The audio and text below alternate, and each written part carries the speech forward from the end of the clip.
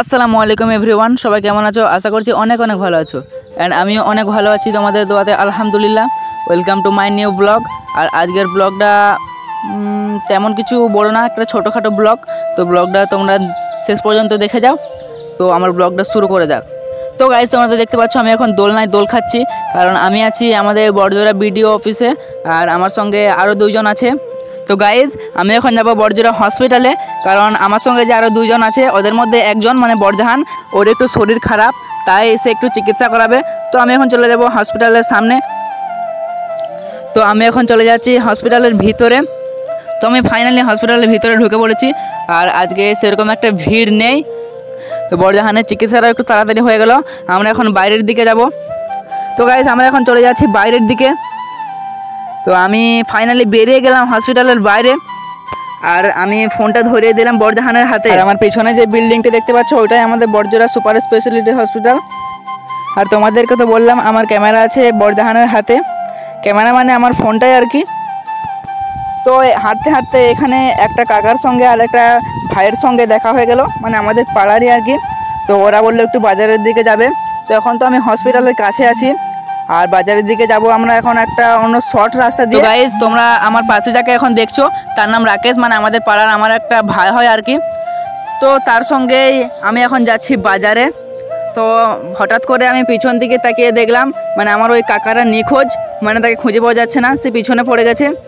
তো তারপর পিছু দিকে তাকিয়ে দেখি সে দূরে ওই যে আসছে তো ওর জন্য এখন ওয়েট করব। আমরা একসঙ্গে আসছিলাম তার মধ্যে যে কখনো পিছুতে পড়ে গেছে আমরা দেখতে পাইনি। গাইজ এসে ও আমার ক্যামেরার সামনে একটু এন্ট্রি মেরে দিল মানে হাই করে দিল।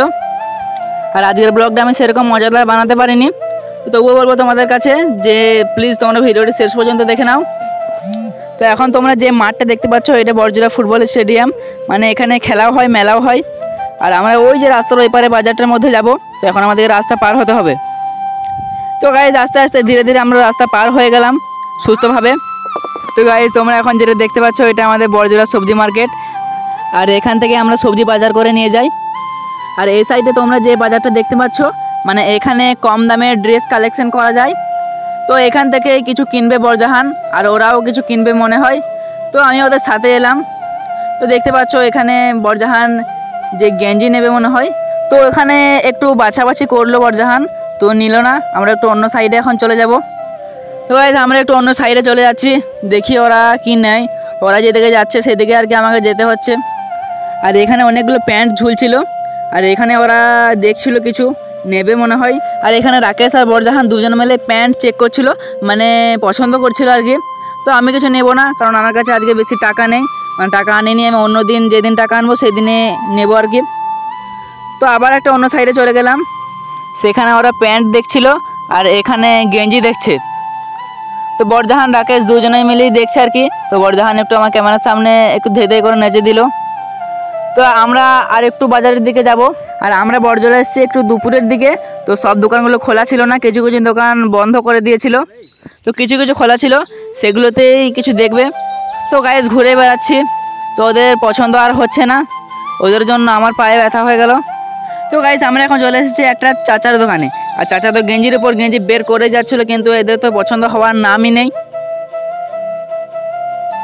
তো গায়েজ শেষমেশ এদের কেনাকাটা কমপ্লিট হয়ে গেল। হয় একটু লেট হলো, কিন্তু কমপ্লিট হয়ে গেছে।